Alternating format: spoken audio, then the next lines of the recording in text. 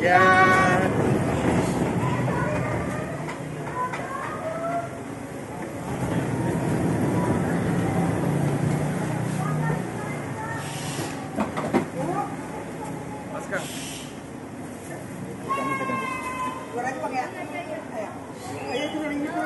Teh, teh.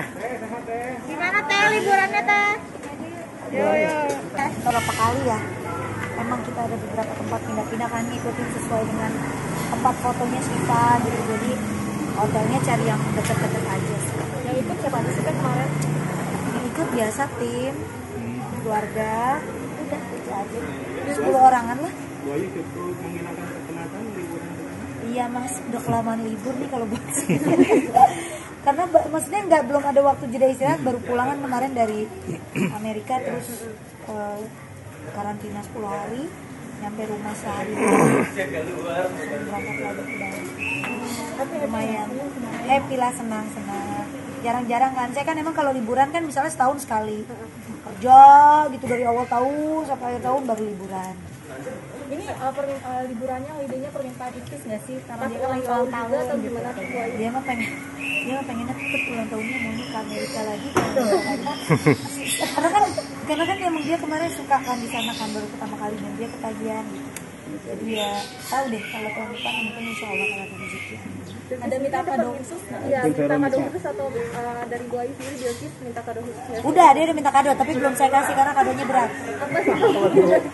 dia minta itu apa namanya uh, album BTS dari album pertama sampai Oh. album yang terakhir banyak banget sedangkan setiap versi satu album kan banyak banget kan itu saya tungguin makanya nggak bisa saya bawa kemarin ke Bali saya tinggal di sini. Kayak dia tadi udah buru-buru turun nyari kadonya dia. Berarti udah disiapin juga ya? udah siapin udah dari saya balik dari Amerika udah ada.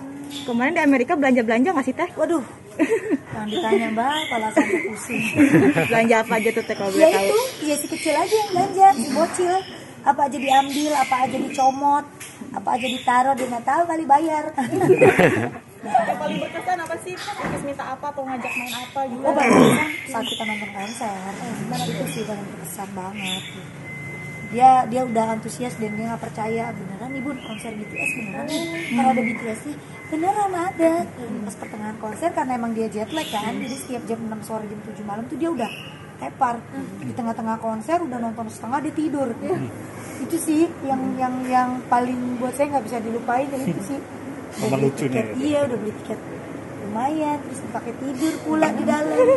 Tapi Ikis ada minta kayak uh, aku mau dirayain dulu nih atau apa gitu ada? Iya rencana insya Allah sih nanti bulan bulan ini sih. Insya Allah rencana minggu depan sih dirayain gitu. Di mana tuh teh? Di sini teh. Enggak nggak Di di rumah? Hotel Margo aja. Ada permintaan mau kayak temanya khusus mau aku Iya, ada tema ada nggak sih? Ya namanya anak-anak apa aja temanya berubah-berubah ya. Ntar dia tadi tema BTS, ntar eh, tema apa tuh Squid Game, terus sekarang berubah lagi nggak ngerti lagi deh. Tunggu aja sampai ntar dia maunya apa dipastiin lagi. Berarti dia emang support banget ya Teh? Hmm, Aduh nggak ngerti. Hmm, bocah. Tapi lihat perkembangannya gemes nggak sih? Makin bawel terus makin mirip sama mami. Oh iya, makin cerewet, makin bawah, makin pintar, udah bisa protes, udah bisa ngomelin orang, udah wah udah macam-macam. Apalagi perempuan kan, makin genit kerjanya pakai masker wajah terus. Masker anak-anak tuh beli di sana tuh. Waduh, udah banyak banget deh. Ada kali satu satu box gitu dia beli tiap malam maskeran. Padahal saya dulu nggak pernah begitu. Belajar dari mana? Nggak ngerti. Centilnya itu sendiri. Ya namanya perempuan lah ya nggak apa-apa ya. Tapi minta uh, kayak, "Mi ayo maskeran bareng dong, aku mau kutekan itu ada nggak sih Nah, manja-manja?" ini dia udah pesan sama saya. Dari kemarin di Bali dia bilang, Bun, ntar sampai Jakarta Ikis mau pakai kuku ya Bun, tolong panggilin orang kuku. Iya. Ntar aja pas deket-deket acara ulang tahun, kalau nggak kan kukunya copot. Udah bawel aja. Tapi kalau masih uh, tipe yang ya udah deh turutin aja masih kecil atau tipe yang kalau nggak butuh jangan dulu deh. Gitu. Kalau mis kalau saya sih tergantung ya, lihat-lihat situasi juga gitu. Kalau misalnya masih masuk akal ya, ya udah iya nggak apa-apa. Tapi kalau dia minta yang berlebihan, saya selalu bilang nggak bisa. Ini harus nabung dulu, harus harus kerja dulu, nggak bisa main beli-beli aja gitu. Jadi biar dia tahu. Tinggal dimanjain. Mungkin yang kayak berlebihan gitu dia pernah nggak sih? Contohnya? Dia minta tas tas. Saya kan punya tas kecil gitu kan. Lumayan itu. Pun beliin tas kayak gini ya gini gini dia ntar kerja dulu ya cari uang dulu baru kita beli. Jadi biar dia biar dia ngerti gitu biar dia paham gitu. Prosesnya nggak gampang dikit dikit minta tinggal ngambil tinggal ngambil. Berarti Ikes nggak dimanjain ya teh ya? kalau saya sih enggak ya kalau nenek kakeknya saya nggak tahu.